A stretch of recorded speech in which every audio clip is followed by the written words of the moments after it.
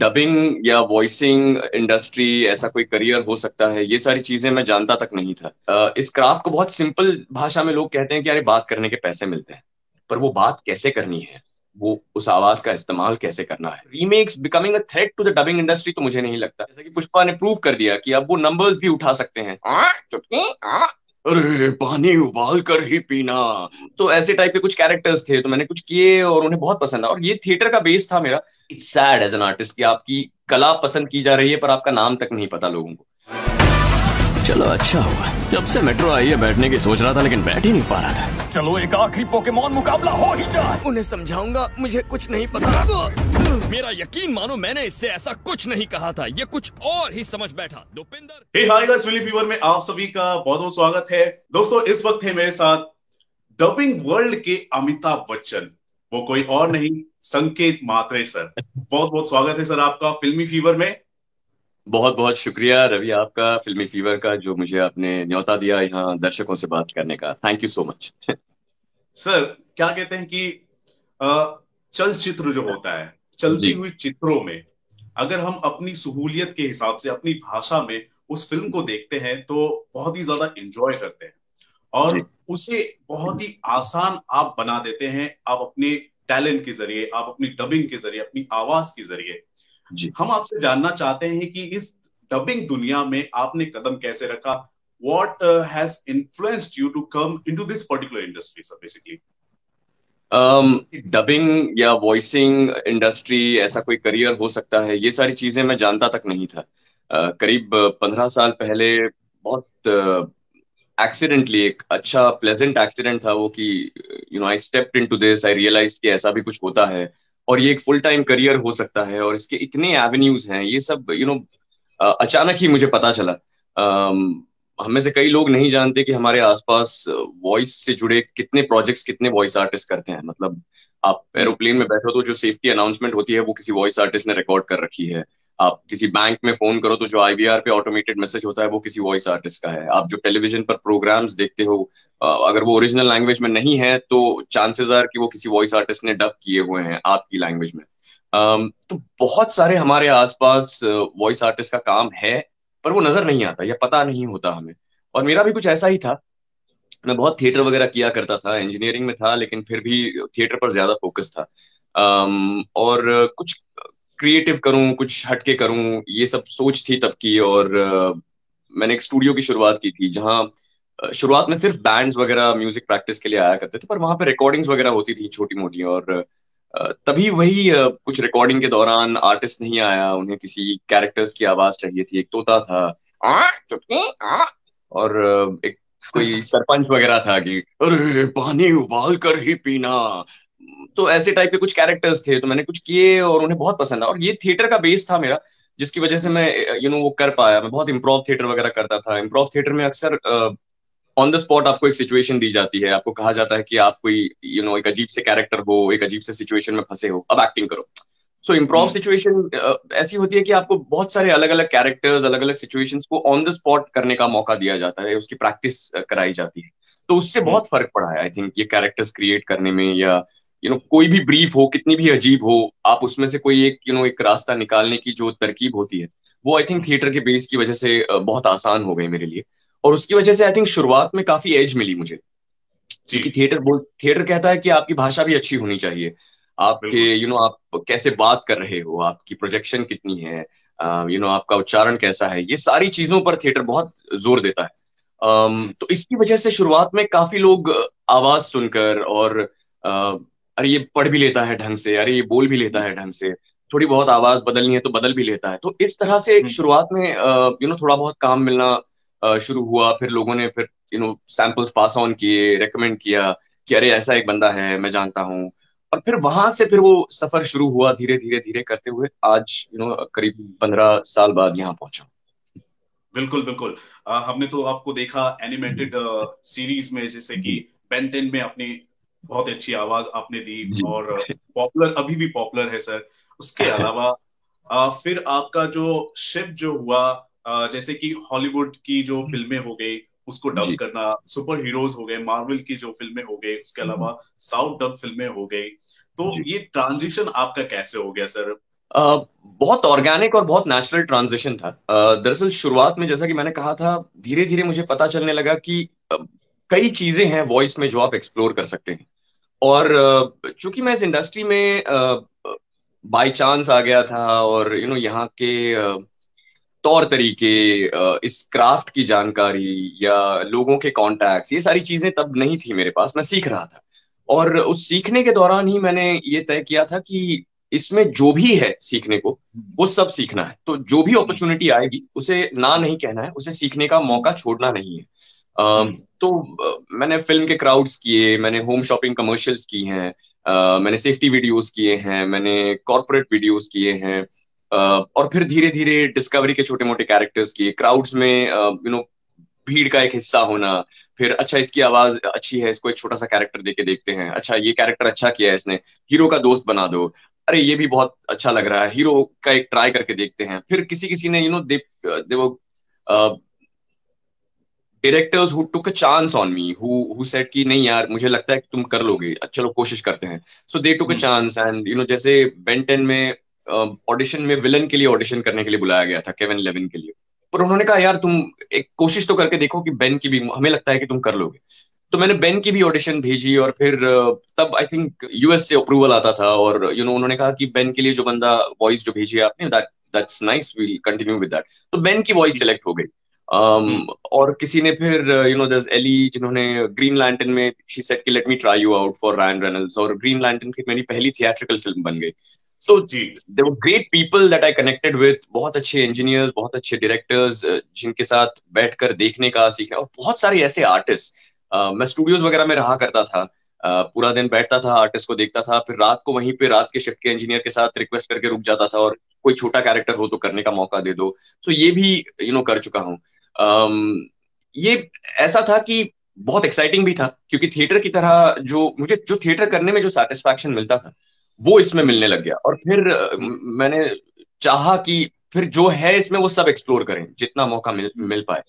और इसीलिए फिर, जो भी हो सके, जैसे भी हो सके, सारी चीज़ें धीरे धीरे सीखना शुरू किया। और फिर वो एक ट्रांजिशन चला गया कि मतलब मैं अब भी कॉर्पोरेट वीडियोस भी करता हूँ, कभी कमर्शियल्स हूँ तो वो भी करता हूँ। पर हाँ यू नो फ़िल्में करना या एनिमेशन करना वो एक यू you नो know, एक प्यार रहेगा क्योंकि उसमें परफॉर्म करने का मौका मिलता है। तो वो जो थिएटर का कनेक्शन हम्म। है वो कहीं रीएस्टेब्लिश हम्म। करने का मौका मिल जाता है। और हम्म। इसीलिए वो करने में सबसे ज़्यादा मज़ा आता है। बिल्कुल बिल्कुल। और आज के दौर में जैसे कि आपने कहा कि फ़िल्मों की तरफ़ आपका जो ट्रांजिशन हुआ शायद यही वजह है कि जैसे आप भी हैं और भी दूसरे डबिंग आर्टिस्ट हैं लेकिन सबसे बड़ा रीजन मैं आपको बताना चाहूँगा कि सर हमारे डबिंग आर्टिस्ट ही हैं कि जिन्होंने सचमुच में साबित किया है कि cinema has no language barriers और आज के दौर में ये साबित भी हो चुका है। फ़िल्में आ रही हैं सर और रिलीज़ हो रही है थिएटर्स में। और जिस हिसाब से जो रिस्पॉन्स हासिल हो रहा है और बिज़नेस कर रही है। जी। जी बिल्कुल। चेंज को आप किस तरह देखते हैं एज अ डबिंग आर्टिस्ट क्योंकि आपकी आवाज़ को लोग बड़े पर्दे पर लोग देखते हैं टीवी स्क्रीन पर लोग देखते हैं और इंजॉय करते हैं। आज बहुत ही ज़्यादा डिमांड है सर साउथ डब फ़िल्मों का या फिर हमारी सुपर हीरोज की जो फ़िल्में हैं आपको तो पता ही है किस हिसाब से क्रेज है हमारे खासतौर पर हमारे हिंदी ऑडियंस के लिए। क्या कहेंगे इस चेंज को लेकर जो हुआ है? दरअसल शहर में रहने वाले जो लोग हैं हम आप जैसे वो सोचते हैं कि यार ये ओरिजिनल का मज़ा बिगाड़ दिया या यू नो ये डब फ़िल्म क्यों की ये तो अरे यार ये डायलॉग तो इन्होंने चेंज कर दिया। तो ओरिजिनल लैंग्वेज में अगर आप किसी फ़िल्म को समझ पाते हैं या उसके जो सब हैं उसे उतनी ही रफ्तार से पढ़ पाते हैं जितने वो स्क्रीन पर आते हैं और फिर भी उस प्रोसेस को एंजॉय कर पाते हैं। तो डबिंग हम्म। आपके लिए नहीं है। आप हम्म। उस डब प्रोजेक्ट के आइडियल ऑडियंस हैं ही नहीं। तो you can try and ridicule उसका आप मज़ाक उड़ा सकते हैं पर वो आपके लिए इंटेंडेड ही नहीं है फ़िल्म वो उन लोगों के लिए इंटेंडेड है जो उस फ़िल्म को बाकायदा एंजॉय करना चाहते हैं पर ना वो ओरिजिनल लैंग्वेज समझ पाते हैं ना हम्म। शायद वो सब पढ़ पाते हैं या अगर पढ़ भी पाते हैं तो उतनी रफ्तार से नहीं पढ़ पाते जितनी वो स्क्रीन पर आते हैं और फिर वो उनका मज़ा चला जाता है कहीं ना कहीं। और right. इसीलिए फिर डबिंग आर्टिस्ट अलग अलग भाषाओं में उस ओरिजिनल लैंग्वेज के प्रोडक्ट को डब करते हैं ताकि आपको और यू you नो know, ये इंडस्ट्री भी ऐसे इवॉल्व होती गई है कि अब वो इतना नेचुरल लगता है कि कई बार आप भूल जाते हैं कि ये शायद ओरिजिनली किसी और भाषा में किया गया की गई चीज़ है। यू you नो know, हम पुराने प्रोजेक्ट्स को लेकर उनका मज़ाक उड़ाते हैं बट ये समझना ज़रूरी है कि बहुत यंग इंडस्ट्री है स्पेशली अगर हिंदी डबिंग इंडस्ट्री की बात करें जो बॉलीवुड फ़िल्म जो हॉलीवुड फ़िल्में हम डब करते हैं that began with Jurassic Park तो इतनी यंग इंडस्ट्री है उस हिसाब से। तो वहाँ से फिर वो गलतियाँ करते करते सुधार और बहुत सारे सीनियर आर्टिस्ट बहुत सारे सीनियर राइटर्स ने यू you नो know, अपनी राइटिंग में अपने काम में इंजीनियर्स ने अपने प्रोसेस में एवोल्यूशन लाया है धीरे धीरे you know they made it better and better कि आज वो इस स्टेज तक पहुँची है कि अरे यार वो यू नो डब फ़िल्म है या वो जय भीम मैं जय भीम देखनी यार हिंदी में देख रहा हूँ क्या अच्छा सेम एक्सपीरियंस है मेरे लिए क्योंकि सारे कैरेक्टर्स सारे आर्टिस्ट अगर आप देख रहे हैं एज एन एक्सपीरियंस मुझे कहीं लग नहीं रहा है कि ये यार डब है जो पहले मज़ाक उड़ाया करते थे कि लिप्स हिल रहे हैं ये नहीं हो रहा अब राइटर्स राइटिंग ऐसे करते हैं डायरेक्टर्स परफॉर्मेंस ऐसा निकलवाते हैं आर्टिस्ट से आर्टिस्ट परफॉर्म ऐसा करते हैं कि आपको अगर ओ वाला शब्द ओरिजिनली बोला गया तो हिंदी में किसी तरह से एक ओ वाला शब्द बुलवाया जाएगा जिससे कि आपको लगे कि उसने ओ ही बोला है आपको हम्म। ऐसा लगने का मौका ही नहीं दिया जाएगा कि कहीं वो ओरिजिनली कुछ और भाषा होगी और तभी हम्म। तो फिर एक ऑडियंस मेंबर जो ओरिजिनल भाषा नहीं समझता वो उसे हिंदी में देखकर भी ऐसा नहीं सोचेगा कि अरे यार ये क्या देख लिया वो यही सोचेगा कि क्या कमाल की फ़िल्म थी मज़ा आ गया। उसको वो डायरेक्टर का विजन ट्रांसलेट करके मिल रहा है। और इसीलिए ये ज़रूरी है। और मुझे लगता है कि बहुत सारे इंडस्ट्री से जुड़े सीनियर्स का इसमें हाथ है इसे इस मकाम तक लाने का कि जहाँ अब ये फाइनेंशियली यू नो वायबल हो गया है और बहुत आम चीज़ हो गई है। ये सारे साउथ के सुपरस्टार्स अब नॉर्थ में आप नाम ले लो तो उनको पता है सबको पता है। तो वो क्यों पता है? क्योंकि इतने सालों से उनकी फ़िल्में देखी जा रही हैं। और अच्छा काम हो रहा है। वरना अगर आप मीडियोकर या खराब काम करो तो दो फ़िल्में देखने के बाद मैं बंद कर दूँगा। मैं क्यों देखूँगा it's like that so the work is getting better and better with every film that comes hmm जैसे कि अभी आपने कहा कि जो हमारे साउथ के स्टार्स हो गए या फिर हॉलीवुड के स्टार्स हो गए जिस हिसाब से फैमिलियर होते जा रहे हैं हमारे डबिंग आर्टिस्ट के ज़रिए तो आ, क्या कहेंगे जिस हिसाब से जो पॉपुलैरिटी उनकी बढ़ रही है दिन ब दिन बढ़ती जा रही है। मनीष शाह सर ने एक इंटरव्यू में भी बताया था कि डबिंग इंडस्ट्री अभी आपको बता दो 800 करोड़ की है आने वाले कुछ सालों के अंदर ये 1200 करोड़ की भी हो जाएगी। मतलब फलती फूलती जा रही है और पॉपुलैरिटी भी बढ़ती जा रही है सर तो ऐसे में क्या होता है कि पॉपुलरिटी उनकी बढ़ जाती है लोग फैमिलियर हो जाते हैं आपकी आवाज़ के साथ। लेकिन कोई एक फ़िल्म आती है और लोग उसका बेसब्री से इंतज़ार करते हैं एक जो होता है ना फैमिलियरिटी जो हो गया मतलब हम सुनना वही पसंद कर रहे हैं। लेकिन हाँ। बाद में सुनने को नहीं मिलता फैंस नाराज़ हो जाते हैं। हाल ही में सर बहुत ही बड़ी ब्लॉकबस्टर फ़िल्म रिलीज़ हुई जिसका नाम है Pushpa the rise part one और थिएटर में इसने सारे रिकॉर्ड तोड़े हैं। आपका पर्सनल ओपिनियन क्या है? क्योंकि फैंस इस बात को लेकर आपका रिएक्शन जानना चाहते हैं? देखिए मुझे कई कई लोगों ने जैसा कि आपने कहा आज भी कई लोग मैसेज करते हैं कि अरे सर आपने उसमें काम क्यों नहीं किया? आपने आवाज़ क्यों नहीं दी? है यू नो हम बहुत बेसब्री से इंतज़ार कर रहे थे। तो हम्म। मैं बार बार यही कहता हूँ कि आर्टिस्ट के हाथ में नहीं होता ये ये फैसला। um, और यू नो किसी को चेंज करना या ना करना ये completely production you know studio की ज़िम्मेदारी होती है। बट पुष्पा इतनी चली इसका मतलब ये है कि जिसे भी यू नो जिस जिस आर्टिस्ट ने उसके वॉइस दी है श्रेयस जी ने so he is done a great job at it and you know that's what is important it sounds it sounds lovely और uh, मुद्दा यही होता है मेरा कि आवाज़ के लिए आवाज़ अच्छी आवाज़ को अच्छी आवाज़ से ही रिप्लेस करो अच्छी आवाज़ को चेहरे से मत रिप्लेस करो hmm. तो अगर आप किसी मज़े हुए आर्टिस्ट को उसमें रिप्लेस कर रहे हो तो दैट साउंड्स साउंड्स ग्रेट और यू नो दो एक्सपीरियंस डाइल्यूट नहीं होता है तो that's it as an artist हम we are fortunate to get the projects that we get हम मांग नहीं सकते किसी से कि मुझे ये प्रोजेक्ट चाहिए या hmm. तो एक तरह से हम फॉर्चुनेट हैं कि अच्छा ये बड़े प्रोजेक्ट्स मिल गए और मैंने उसमें कुछ कर दिखाने का। और hmm. फिर लोगों का प्यार अब you know social media we are lucky to be in the era as you know from my generation बहुत सारे मुझसे सीनियर आर्टिस्ट हैं जो बड़ा काम कर गए हैं पर तब सोशल मीडिया नहीं था। तो बहुत hmm. सारे लोग उस आर्टिस्ट का नाम तक नहीं जानते थे। And that's really you know it's sad as an artist कि आपकी कला पसंद की जा रही है पर आपका नाम तक नहीं पता लोगों को। पर हम्म। अब वैसा नहीं है। तो हालाँकि यू नो मैंने कहा था पहले भी कि हालाँकि मैं वो फ़िल्म नहीं कर पाया। लेकिन हम्म। लोगों का इतना प्यार देखकर लगा कि हाँ इतने सालों से जो कर रहे हैं वो यू नो उसको सराहा जा रहा है उसको अप्रिशिएट कर रहे हैं लोग। और that's what is important as an artist तो यू नो आगे काम आता रहेगा हम करते रहेंगे अच्छी चीज़ें ही करेंगे। लोग तो ये चाहते थे कि पुष्पा के डायलॉग सर आपकी आवाज़ में लोग सुने। ऐसा चाहते थे? पर्सनली फ़िल्म आपको कैसा पसंद आया है? As a reviewer if if I ask you so see the thing is जैसा कि मैंने एवोल्यूशन की बात की इंडस्ट्री की the stars are also evolving अगर आप यू नो अल्लू अर्जुन की पिछली फ़िल्म देखें और उसका उसमें जो कैरेक्टर था और इसमें जो कैरेक्टर था there's a stark evolution in terms of you know the character detailing that he has brought or you know the amount of difference there is in uh, you know halaki style is at its heart but you know the the change or तो अगर वैसा you you know know, वो actor भी अपनी तरफ़ से you uh, know you know, उतनी दमदार चेंज ला रहा है तो as a voice artist you are also inspired कि अच्छा तो मैं भी फिर यू you नो know, मैं कुछ and they use Marathi slang and you know तो दीज आर थिंग्स दैट वो ओरिजिनल चीज़ आपको इतनी इंस्पायर करती है कि फिर आप उसमें यू नो ट्वीकिंग करते हो। जैसे मुझे याद है हमने डीजे जब की थी तो बहुत बैक एंड फोर्थ डिस्कशन हुए थे एंड यू नो उसको पंडित भी है पर वो असैसिन भी है तो कैसी लैंग्वेज रखें? तो चलो हार्ड कोर पंडित जैसी बा, बातें करें और फिर एकदम से चेंज लेके आ जाते हैं। So but because you know Allu Arjun has originally done that is why Hindi में फिर वो यू you नो know, वो अच्छा ये इतना कर दिया यार चलो हम भी कुछ you know let's try and you know make sure that the Hindi audience gets that flavour तो hmm. वो स्टार्स भी इवॉल्व हो रहे हैं और उनका काम और वो फ़िल्मों की क्वालिटी बहुत इंप्रूव हो रही है। And you know off hand बहुत सारी ऑडियंस को साउथ की फ़िल्में इसलिए भी पसंद आती हैं क्योंकि जेनेरिकली सारी फॉर्मूला नहीं होती। बहुत सारी hmm. अचानक से कुछ अलग ही स्टोरी लेकर आ जाती हैं and you are you know या तो सस्पेंस हो या फिर रोमांटिक भी हो या फिर स्लाइस ऑफ़ लाइफ हो बट अचानक से स्टोरी ऐसी अलग सी रहती है कि आप अरे यार मैंने हिंदी में तो ऐसा कुछ देखा नहीं था।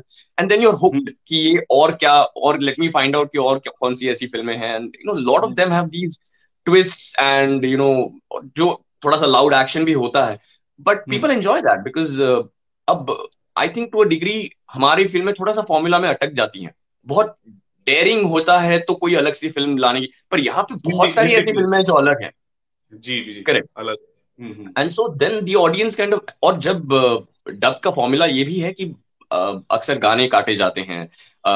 कभी कभी आई थिंक लेंदी सीन्स वगैरह अगर if they they seem unnecessary to the duration वो भी चॉप किए जाते हैं। So as an audience member मैं I am watching this three hour movie which has been slice to one hour forty five या one hour thirty और two hours और फट फट फट स्टोरी जा रही है। आई एम हुक्ड मैं हिल ही नहीं रहा हूँ। मुझे पूरी फ़िल्म देखनी है और बैक टू बैक मैं देख लेता हूँ। And that kind of you know hits the impact of the of the stars of you know the film hits you even more. And then you are trying to explore कि और इसमें you know इस actor ने और क्या किया है। अब like this is my theory अगर मैं for example if I take a Hrithik Roshan I'm a Hrithik Roshan fan पर ऋतिक रोशन की पिछले, अगर मैं पाँच सालों में बात करूँ तो कितनी फ़िल्में आई हैं? वही अगर मैं if I compare it to south Indian star उनकी सारी फ़िल्में डब हो जाती हैं। एक फ़िल्म अगर हिट हो गई तो उनकी पुरानी जितनी भी फ़िल्में हैं, सारी डब होना शुरू हो जाती हैं। तो मुझे पिछले पाँच सालों में उनकी पच्चीस फ़िल्में देखने मिल गई। जबकि मैं as a Hrithik Roshan fan I would have seen like maybe four film of his जब मैं किसी स्टार की पच्चीस फ़िल्में देखता हूँ I am crazy about him ना तो अब उसकी जो अगली फ़िल्म आएगी मैं थिएटर में जाके देखूँगा मैं जहाँ जाना है जहाँ जा, क्योंकि I have watched that much content in such a short time कि मैं डाई हार्ड फ़ैन हो गया हूँ अब उनका। So this is what the dubbing industry has done कि बहुत कम टाइम में किसी भी स्टार की या ये, ये किसी भी डायरेक्टर की किसी एक्ट्रेस की बहुत hmm. सारा कंटेंट आपको यू you नो know, आप तक पहुँचाया गया है। And you consumed that specially lockdown वगैरह की वजह से तो बहुत ओटीटी कंजम्पशन बढ़ गया एंड यू नो तो hmm. उसकी वजह से I think that is my theory that you know the the stardom has accelerated जो hmm. चीज़ करने में किसी स्टार को शायद दस पंद्रह साल लग जाते हैं एस्टेब्लिश करने में खुद को या hmm. बीस साल लग जाते hmm. वो अब यू नो दो साल में तीन साल में कभी कभी अगर बैक टू बैक सारी फ़िल्में डब हो जाए तो एक साल में भी you know you suddenly know कि हाँ मुझे पता है ये तो ये तो सार अरे मैं तो इनकी फ़िल्में देखी हैं you know I watched it और यूट्यूब पे अवेलेबल है so I get messages from Nepal Canada Pakistan Bangladesh से मैसेजेस आते हैं कि अरे सर ये फ़िल्म देखी हमने बहुत सो so, यूट्यूब ने वो बैरियर भी हटा दिया है कि you know it's not limited to our country वो पूरी दुनिया में देखी जा रही है फ़िल्में। So it's not just you know जब लोग मुझे कहते हैं कि अरे ये तो नॉर्थ में घर घर में इनका नाम है। लाइक नॉर्थ में नहीं है भाई ये पूरी दुनिया में घर घर में इनका नाम है क्योंकि they watch their film everywhere and that's great that's great for the industry that's great for their industry that's great for our industry हमें भी उतना ही काम मिलेगा जितनी फ़िल्में और पॉपुलर होंगी। और उनकी इंडस्ट्री यू नो और फ्लरिश होगी और प्रॉस्परस होगी। That's a win win for everybody yes yes और आपने इवोल्यूशन की बात की डबिंग इंडस्ट्री की बात की। आ, लेकिन कहीं ना कहीं क्या आप एक पर्टिकुलर कल्चर को आप चैलेंज मानते हैं? वो कल्चर है रीमेक कल्चर आए दिन गए आप देखेंगे हमारी हिंदी फ़िल्म इंडस्ट्री में रीमेक आफ्टर रीमेक रीमेक पे रीमेक बने जा रहे हैं और कई जो फ़िल्में हैं ब्लॉकबस्टर हो चुकी है अपने अपने क्षेत्रों में। फिर बाद में उनके डबिंग राइट्स हो गए तो डबिंग राइट्स तो चलो आ जाते हैं चलो उनकी डबिंग भी बन जाती है लेकिन उसका रीमेक बन जाता है। उसी फ़िल्म का रीमेक बन जाता है जिसके हिसाब से जो डबिंग फ़िल्में होती है उनके सामने चैलेंजेस आने शुरू हो जाते हैं ठीक है?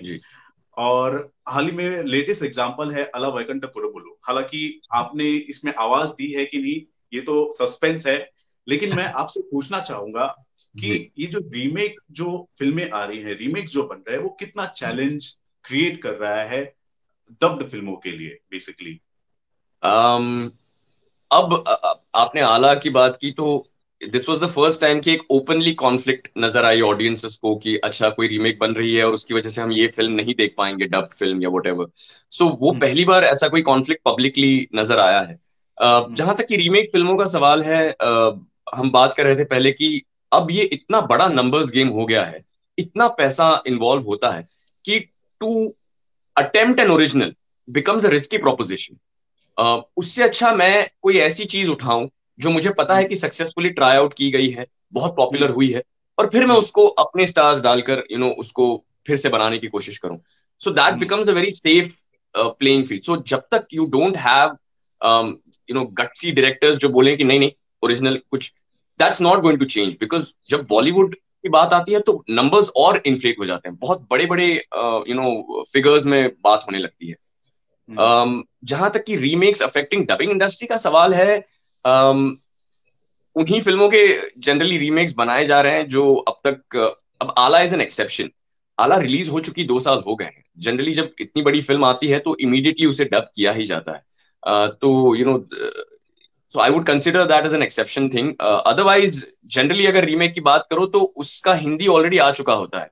Um, hmm. और because it's a great film तो अगर कोई ग्रेट फ़िल्म है तो इमीडिएटली कोई उसे डब करने की कोशिश करता है। डबिंग राइट्स दिए जाते हैं डब हो जाती है इमीडिएटली हम्म। और अब तो ये भी ट्रेंड आ गया है ऑलमोस्ट कि when simultaneous releases are happening पिछले साल मैंने विजय की मास्टर की थी जो साइमल्टेनियसली रिलीज़ हुई थी। Um, अब we are doing ET with Suriya वो साइमल्टेनियस uh, रिलीज़ पर है। Pushpa happen to be simultaneous release so ऐसे अब, अब वो भी हो रहा है कि साइमल्टेनियस लैंग्वेज डब्स भी रिलीज़ हो रहे हैं। इट्स बिकम दैट पॉपुलर तो वो ट्रेंड काफ़ी चेंज हो रहा है। So remakes becoming a threat to the dubbing industry तो मुझे नहीं लगता। क्योंकि uh, ये जैसे कि मैंने कहा भी हो सकता है सर। वाइस वर्सा भी हो सकता है। एग्जैक्टली क्योंकि अब हम्म। वो फ़िल्में भी इतनी लाउड और इतनी यू नो ओपनली चैलेंजिंग हो गई हैं। जैसा कि पुष्पा ने प्रूव कर दिया कि अब वो नंबर्स भी उठा सकते हैं यू नो तो हम्म। तो it's it's not it's it's not a matter of who's threatening who अब अब बात ये हो गई है कि किसकी कहानी ज़्यादा दमदार है। You know if mm. making an original and south में if compare it story wise ज़्यादा ओरिजिनल स्टोरीज अवेलेबल हैं। इसीलिए तो hmm. उसके इतने सारे रीमेक्स बन रहे हैं। You know and and they are starkly different मतलब अगर आप रीमेक भी देखो तो जब वो by the time it gets translated to Bollywood बहुत ग्लैमराइज हो जाते हैं बहुत चेंज हो जाते हैं। Um, hmm. और अगर आपने ऑलरेडी फ़िल्म देख ली है तो देन यू स्टार्ट कंपेयरिंग कि अरे ये तो ऐसा नहीं था ये सीन इन्होंने क्या कर दिया? और या यू नो स्टार वैल्यू बहुत है बॉलीवुड में so so that also changes the film to to a lot of to a lot like a huge degree क्योंकि स्टार्स ले रहा हूँ उतने पैसे डाल रहा हूँ then I have to make sure that the film is you know this ये भी है वो भी है then you start compromising somewhere on the original story also तो बहुत सारे फैक्टर्स उसे चेंज करते हैं बट थ्रेट तो मुझे नहीं लगता कि डबिंग इंडस्ट्री को रीमेक से होगा। नहीं उल्टा उल्टा डबिंग इंडस्ट्री जो है वो जो ओरिजिनल इंडस्ट्रीज़ है जो फ़िल्म इंडस्ट्री उनके लिए थ्रेट है खासतौर पर हिंदी फ़िल्म इंडस्ट्री के लिए क्योंकि ज़्यादा रीमेक सर यहाँ पे ही बन रहे हैं। हालाँकि हर एक इंडस्ट्री रीमेक बनाती है अगर अच्छी बनाती है बिल्कुल बिल्कुल। बिल्कुल। मैं आपसे ये पूछना चाहूँगा सर इतने सारे कैरेक्टर्स हैं इतने सारे सुपर हीरोज हैं साउथ इंडियन इतने सारे आर्टिस्ट हैं ऐसा कौन सा हीरो कैरेक्टर या फिर ऐसी कौन सी फ़िल्म है जिसको डब करते हुए आपको बहुत अच्छा मज़ा आता है या फिर मतलब सुकून आप फील करते हैं basically you love love doing that या मुझे ऐसे प्रोजेक्ट्स पर ऐसे प्रोजेक्ट्स में बहुत मज़ा आता है जो मुझे वोकली चैलेंज करते हैं। मतलब कोई यू you नो know, कोई हीरो ने कोई uh, या जो कैरेक्टर कर रहा उसने कोई खास मैनरिज्म किया है या यू you नो know, कुछ लैंग्वेज में यू नो रेगुलर से हटके कुछ किया है या कोई अलग सी साउंड है uh, या कोई अलग सी स्टाइल है ऐसी चीज़ें जब हो ना तो वो चैलेंज परफॉर्म करने में मुझे ज़्यादा फुलफिलिंग लगता है। बिकॉज़ तब ऐसा लगता है कि हाँ हम क्राफ्ट का you you know know, proper इस्तेमाल कर रहे हैं। So so like I said I give you an example of DJ for example या फिर डेडपूल um, है या you know there are films where जो रेगुलर हीरो करता है वो उस फ़िल्म में वो नहीं कर रहा है। Something else he is doing entirely जिसमें यू नो आपको वॉइस थोड़ी सी um, हाल ही में at voice for Vikram in in a film and he now there is a huge age thing और मैं कन्विंस नहीं था about uh, it but uh, the makers convinced me saying that the kind of performance that we need uh, with uh, a specific voice for this film is something that we are getting only through did the auditions वगैरह हुए थे and so तो वो उसके लिए फिर एक you know एक एज और विजडम वाली आवाज़ और फिर वो असर्टिवनेस बनाना सो वो नो तो ये जो चीज़ें होती हैं जबकि जब कुछ आपको एक यू नो ये रेगुलर नहीं है ये कुछ तो आपको आवाज़ चेंज करनी है या लैंग्वेज चेंज करनी है यू नो ऐसी जब चैलेंजेस आती हैं या फॉर एग्ज़ाम्पल डेडपूल अगर हम डेडपूल की बात करें तो जब वो आई थी it was a complete risk project इसका कुछ नहीं हो सकता ये सोचा था स्टूडियो ने क्योंकि R rated superhero India में कैसे चलेगा? और उसका हम हिंदी में क्या करेंगे मतलब? But then you know joke पे जोक हम वी आर इम्प्रोवाइजिंग और यू नो वो राइटिंग डायरेक्शन वॉइसिंग टेक्नीशियंस भी अपना अपना इनपुट दे रहे हैं कि यार सर ये ट्राई करके देख लीजिए. And we are trying it out तो लिटरली हर लाइन के चार चार ऑप्शन बन रहे थे सब अपने अपने जितने भी जोक्स लोगों ने बोले वो सारे जोक्स हम इंसर्ट करके देख रहे थे फिर लास्ट में यू नो उन्होंने सुना फिर कौन सा जोक ज़्यादा फनी लग रहा है या यू नो किस पे हंस रहे हैं सबसे ज़्यादा तो वो उठा के हम्म। तो वैसी वो फ़िल्म बनी है इट्स हम्म। वो उस फ़िल्म का अगर मैं ऑडियो उठा के दिखाऊँ आपको तो वो चार फ़िल्में हैं क्योंकि इतने सारी लाइनें हमने इम्प्रोवाइज करके ये भी ऑप्शन ले लो ये भी ऑप्शन ले लो ये ट्राई करो। So that was the challenge for Deadpool जैसे हम डीजे की बात कर रहे थे तो challenge was to bring that contrast कि ये अरे ये ये यू नो ये पंडित है या पर ये ऐसे भी बात कर रहा है। So you know that immediate shift जब वो फ़ोन उठा के पहले हेलो बोलता है। सो दैट इमीडिएट चेंज अरे ये तो ये क्या कैरेक्टर है? So you know those kind of jerks when they come या so that is very satisfying as an artist कि मैं अगर वो दिला hmm. पाऊँ ऑडियंस को the same excitement that is satisfying sir आप डेडपुल का जब भी आप ज़िक्र करते हैं ना लोग इमोशनल हो जाते हैं। खास तौर पर पार्ट टू की बात होती है सर। मैं भी इमोशनल हो जाता माय गॉड सो अभी हम वेट करते हैं कि आने वाले और भी फ़िल्में सर। आप ही उसमें अपनी आवाज़ दे। बिल्कुल मैं बिल्कुल. मैं बता नहीं सकता सर। अगर अल्लू अर्जुन सर की बात की जाए तो आपकी वॉइस और अल्लू अर्जुन दोनों को इडली डोसा कहा जाता है। डेडपुल की अगर बात की जाए तो रेहान सर की बात की जाए तो मतलब कॉम्बिनेशन जो होता है ना आप दोनों का बेहतरीन होता है। लोग लोगों की आदत हो चुकी है सिर्फ़ आदत ही नहीं मतलब उनको कन्वीनियंट भी लगने लग गया है। मतलब बहुत दे इंजॉय डूइंग दैट हम कोशिश हम हम तो ये होप करते हैं कि सर आप प्लीज़ आप कोशिश कीजिए कि आप उन कैरेक्टर में आप अपनी ही वॉइस बिल्कुल बिल्कुल। बहुत बहुत शुक्रिया मैं डेफिनेटली कोशिश करूँगा। सो बेसिकली बहुत सारे एस्पिरेंट्स है सर जो डबिंग इंडस्ट्री में आना चाहते हैं। जैसे मैंने आपको बताया कि डबिंग इंडस्ट्री किस किस हिसाब से फल फूल रही है। साउथ टू साउथ डब फ़िल्में हो रही हैं या फिर आप देख लीजिए हिंदी साउथ से हिंदी हो रही है इंग्लिश से हिंदी हो रही है। तो बहुत सारे एस्पिरेंट्स हैं वो इस इंडस्ट्री में आना चाहते हैं। तो उनके लिए आप क्या टिप्स देना चाहेंगे क्या कहना चाहेंगे? इस मामले में एक थोड़ी सी सीरियस बात भी मैं कहना चाहूँगा क्योंकि हाल ही में मुझे यू नो कुछ लोगों ने बताया कि ऐसे कई यंग आर्टिस्ट हैं जो जो एजुकेशन वगैरह मिडवे छोड़कर इस इंडस्ट्री की तरफ़ मुड़ने की कोशिश कर रहे हैं वॉइसिंग में आने की कोशिश कर रहे हैं, क्योंकि उन्हें इसकी इधर पॉपुलैरिटी नज़र आ रही है और यू नो उन्हें लगता है कि एक बहुत, वो अच्छी आवाज़ निकालते हैं या उनकी आवाज़ बहुत अच्छी है तो उनको लगता है ये एक बहुत लुक्रेटिव करियर हो सकता है। और इसके लिए मुझे हाल ही में रियलाइज़ हुआ कि कुछ लोगों ने मैसेज किया कि कुछ बच्चे एजुकेशन वगैरह भी छोड़कर अबैंडन करके they trying to enter this field तो सबसे पहले तो हम्म। मैं ये कहना चाहूँगा कि अगर आप पढ़ाई कर रहे हैं फिनिश योर कोर्स अगर आप नौकरी करके अपने यू you नो know, घर को संभाल रहे हैं तो वो करते करते साइड में यू you नो know, ये सीखने की या देखने की या समझने की हम्म। कोशिश शुरू कीजिए um, और अगर आप यू नो यू आर आप एंटर करना चाहते हैं you know this is your next move as a career तो खुद पर छह महीने एक साल काम करके उसके बाद अपना पहला ऑडिशन दीजिए um, और ये सब कहने के पीछे वजह ये है कि अब ये इंडस्ट्री वैसी नहीं है जैसी ये पंद्रह साल पहले थी। अब um, इतना काम आ गया है इतना पेस बढ़ गया है इस इंडस्ट्री का uh, इतना बिज़नेस बढ़ गया है कंपटीशन बढ़ गई है कि किसी के पास आपको बिठाकर सिखाने का वक्त नहीं है। तो हम्म। अगर आपकी पहली ऑडिशन अनइम्प्रेसिव होती है तो आपको दोबारा बुलाए जाने के चांसेस बहुत कम है।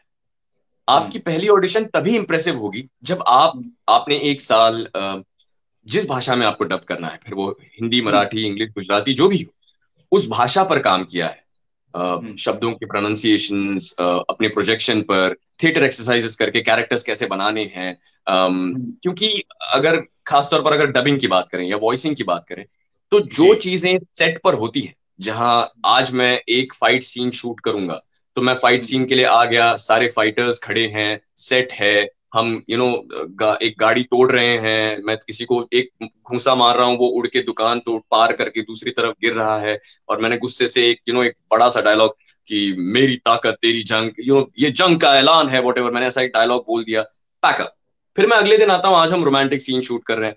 स्टूडियो में जब आप आते हैं तो ये चीज़ दस मिनट में हो जाती है। चल हम्म। पहला सीन है फाइटिंग का सीन है चलो ओके रिएक्शन रिएक्शन रिएक्शन अब ये डायलॉग बोलना है। नहीं नहीं और पावर और पावर ओके नेक्स्ट सीन है रोमांटिक सीन इमीडिएटली आपको स्विच करना पड़ता है। अगर आपने हम्म। इसकी प्रैक्टिस नहीं की है अगर आपने इस पर काम नहीं किया है तो ये जो स्विच होता है ना ये बहुत डिफ़िकल्ट हो जाता है। फिर मैं। जंग का ऐलान वाले आवाज़ के साथ अगर मैं तुमसे प्यार करता हूँ ऐसे ही बोलूँगा तो वो नो दैट वो नहीं चलेगा। फिर भी लारे क्या कर रहा है यार? वो लड़की डर जाएगी। ये रोमांस का है softness La. So then I be like मैं तुमसे बहुत प्यार करता हूँ। So you know that so वो इमीडिएट स्विच है। और नेक्स्ट सीन है मैं मैं रो रहा हूँ क्योंकि मेरा पैसा चोरी यू नो तो ये फटफट करना पड़ता है डबिंग में। तो अगर आपने इस पर मेहनत नहीं की है, काम नहीं किया है, और अगर आपको मैं परफॉर्म करने बोलूँ, आप नहीं कर पाए तो I will not be calling you again as a and this is specially in in metropolitan cities जैसे मुंबई वगैरह में जो, जिस लेवल का काम होता है, जिस रफ्तार से काम होता है, वहाँ पे ये मुश्किल है। और इसीलिए मैं हमेशा ये सलाह देता हूँ कि पढ़ाई करते करते थिएटर करना शुरू कीजिए नौकरी संभालते संभालते वर्कशॉप्स करना शुरू कीजिए। आवाज़। से जुड़े वर्कशॉप्स हैं थिएटर वर्कशॉप्स हैं। इनसे आप पहले लैंग्वेज परफॉर्मेंस ये सब इंप्रूव कीजिए। फिर वॉइसिंग में यू नो अपने सैंपल्स वगैरह स्टूडियो कोई हायर करके सैंपल्स बनाइए। अब स्टूडियोज हर तरफ़ हैं। ना भी हम्म। हो तो आप एक माइक्रोफोन खरीद सकते हैं बजट माइक्रोफोन्स मिल जाते हैं। आप कहीं फिजिकली अगर जा आ नहीं सकते तो अब ऑनलाइन भी रिकॉर्डिंग के काम या प्रोजेक्ट्स आप उठा सकते हैं। ये दुनिया अब इतनी छोटी हो गई है इंटरनेट ने इतनी सहूलियत बना दी है, और स्पेशली लॉकडाउन के बाद ये पता चला है कि बहुत सारा ऑनलाइन काम आप घर बैठे कर सकते हैं। तो बहुत सारी रिकॉर्डिंग्स वगैरह तो ऐसी रिकॉर्डिंग्स आप ऑनलाइन कीजिए, उससे एक डेमो रील तैयार कीजिए। फिर अगर आपको हाँ अगर आपको डबिंग में ही आना है तो डबिंग की प्रैक्टिस के लिए अपने लोकल स्टूडियोज को हायर कीजिए, या घर पर ही सीन्स वगैरह करें बहुत सारे यूट्यूबर्स ऐसा करते हैं। और एक बहुत ये ये एक एग्जांपल देता हूँ मैं कि एक यूट्यूबर है फॉर एग्ज़ाम्पल लोहित करके एक यूट्यूबर है लोहित शर्मा वो पहले ट्रेलर्स बनाया करता था और सारे कैरेक्टर्स की आवाज़ खुद ही देता था। एक पॉइंट आया जब he he got so good at it now he is working in the industry वो काम कर रहा है वो नेटफ्लिक्स के शोज़ वगैरह में वॉइस दे रहा है मूवीज़ के लिए वॉइस दे रहा है। So he is living that dream but उसने क्या किया? ही वो करता रहा एक तरफ़ वो एक काम करता रहा। मुझे अगर वॉइसिंग आर्टिस्ट बनना है और अगर मैं फुल टाइम उसे नहीं दे पा रहा हूँ मैं पढ़ाई कर रहा हूँ तो प्लीज़ अपनी पढ़ाई पूरी कीजिए and I tell you why आपको पढ़ाई पूरी करनी चाहिए। uh, मुझे भी इंजीनियरिंग में कोई खास you know after point I just really lost interest but the the reason is कि कहीं ना कहीं जब आप वॉइसिंग कर रहे हैं आपके करियर में जो भी आपने सीखा है कहीं ना कहीं it comes back and it helps you मैं जब कॉर्पोरेट व्यूज़ करता हूँ और जब वो या एल एन टी के हों या एशियन पेंट्स के हों तब कुछ इंजीनियरिंग की टर्म्स आती हैं देर लाइक अरे ये ये मैं बोल मैं बोलता हूँ नहीं नहीं मुझे पता है मैं बताता हूँ आपको ये ऐसा है ये ये वैसा है.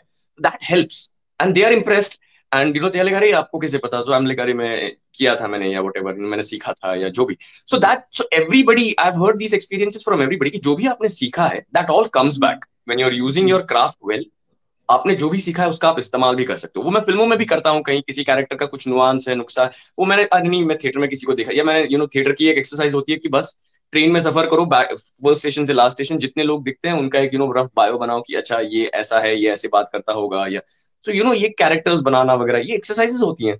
और ये करके फिर आप then when you are starting to perform people will be like अरे, क्या कमाल का है यार, ये तो ज़बरदस्त कर रहा है you know let's call him back और let's call her back so that is my advice to all of you कि please you know work on your self work on the craft इस uh, इस craft को बहुत simple भाषा में लोग कहते हैं कि अरे बात करने के पैसे मिलते हैं पर वो बात कैसे करनी है? वो उस आवाज़ का इस्तेमाल कैसे करना है? और मॉड्यूलेशन क्या है? आ, सामने वाले को वो इमोशन जेन्युइनली फील कराना। Um, और रही बात सक्सेस की uh, मैं uh, मैं अभी आज भी सीख रहा हूँ। Uh, मुझे इस इंडस्ट्री में पंद्रह साल हो गए हैं। अगर मैं मान लूँ कि एक स्ट्रगल पीरियड होता है तो मेरे लिए वो साढ़े पाँच साल का था रफली so you know this overnight success होगा या you know that that rarely happens that that you know ये वो सौ लोगों में एक बंदा होगा जिसको हर करेक्ट रूम में करेक्ट टाइम पर उसने एंट्री ले ली और उसका यू you नो know, एक साल में सुपरस्टार हो गया है डजेंट हैपन टू एवरीबडी तो वो जो निन्यानवे लोग हैं बचे हुए वो क्या करते हैं? वो ज़रूरी है। अगर उनमें से यू नो वो निन्यानवे लोग कहते हैं कि नहीं हम मेहनत करेंगे भले दो साल लग जाए तीन साल लग जाए this is what I want to do you're very determined you're very passionate about it तो फिर then you know you will achieve it one day it just matter of time बस अपने आप को आपको इम्प्रूव करते जाना है that's all yes yes so basically ये है कि वाइज ऑप्शन हमारे लिए ही होगा कि हम जिस फ़ील्ड में भी हम काम कर रहे हैं पहले उस फ़ील्ड में या फिर जो हम पढ़ाई कर रहे हैं वो पढ़ाई करो। मतलब एक बैकअप अपने साथ ज़रूर रखो। Absolutely, और अगर एब्सोल्युटली करेक्ट और अगर डबिंग में डबिंग को लेकर आपका पैशन है तो उसे भी फॉलो करो लेकिन बैकअप आपके पास हमेशा होना चाहिए। बिल्कुल होना चाहिए बिल्कुल होना चाहिए। सी आई कम from I would say I come from a privilege background मैं जब इंजीनियरिंग या इसके बाद भी पापा की इतनी सेविंग्स थी कि पापा ने कहा चलो एक काम करो तुम दो साल के लिए कोशिश कर लो। स्टूडियो या जो भी तुम्हें थिएटर वगैरह जो भी करना है दो साल के बाद तुम्हें इतनी तनख्वाह मिलनी चाहिए जितनी तुम्हें एक इंजीनियरिंग की नौकरी से मिलती ताकि तुम्हारा घर चल सके। तो मैं दो साल तक तो तुम्हें संभाल लूँगा। तो ये दो साल तक यू नो मम्मी पापा का इमोशनल सपोर्ट रहना भी आई कंसिडर कि वो एक बहुत बड़ा प्रिविलेज है। वो नहीं मिलता लोगों को। लोग लोग यार पंद्रह सोलह साल की उम्र से उन्हें यू नो घर से बाहर निकलना पड़ता है काम ढूंढना पड़ता है हम्म। पढ़ाई छूट जाती है यू नो इतनी रिस्पॉन्सिबिलिटीज आ जाती हैं। सो आई कंप्लीटली अंडरस्टैंड कि यू नो इतनी मुश्किलों के बावजूद भी uh, लोग यू नो ये इस फ़ील्ड में आना चाहते हैं या कुछ करना चाहते हैं। तो I don't want to discourage anybody please आइए इट्स अ वंडरफुल फ़ील्ड बहुत सेटिस्फाइंग चीज़ है एक वॉइस आर्टिस्ट बनना. I feel really proud to tell people that I am a voice over artist खासकर आज के वक्त में जब इतनी रिकग्निशन दी जा रही है वॉइस आर्टिस्ट को so please do come in this field but please make sure कि आप you know you are managing your house well you managing your education well उसे कहीं यू नो इग्नोर मत कीजिएगा या उसे कहीं uh, नजरअंदाज मत कर दीजिएगा that's all so basically guys अगर संकित सर की बात आपने सुनी है तो इस पर ज़रूर आप अमल कीजिएगा। तो मैं पर्सनली सर आपने जो कहा है ना इसे मैं कहूँगा एक डीप रूटेड एक्सपीरियंस के साथ आपने एक सलाह दी है। So I personally like it personally like it so so बहुत सारे जो फैंस है वो जानना चाहते हैं संकेत सर की आने वाली फ़िल्म और लेटेस्ट बहुत बड़ी फ़िल्म है उसके बारे में भी आप अपडेट जानना चाहते हैं। फ़िलहाल हम उस पर बात करेंगे लेकिन आने वाले वक्त में किसी दूसरे एपिसोड्स में दोस्तों। तो पूरा का पूरा जो कन्वर्सेशन है दोस्तों आपको संकेत सर का कितना अच्छा लगा ज़रूर बताएँ हमारे कमेंट सेक्शन पर। और संकेत सर जाते जाते कुछ आप बत, बा, कुछ डायलॉग्स के साथ या कुछ यूनिक तरीके से आप कुछ हमारे जो व्यूअर्स है उनको कुछ कहना चाहेंगे?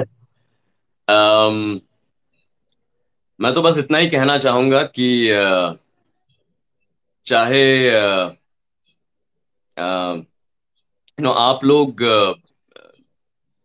शायद सोचते हो कि you know as a voice artist हमारे जो मनपसंद प्रोजेक्ट्स थे, उनमें किसी आर्टिस्ट ने काम क्यों नहीं किया? तो यू नो मैं दिल से यही कहना चाहूँगा कि हम खुद भी यू नो ऐसे प्रोजेक्ट्स में काम करने की इच्छा रखते हैं, पर कभी हो नहीं पाता।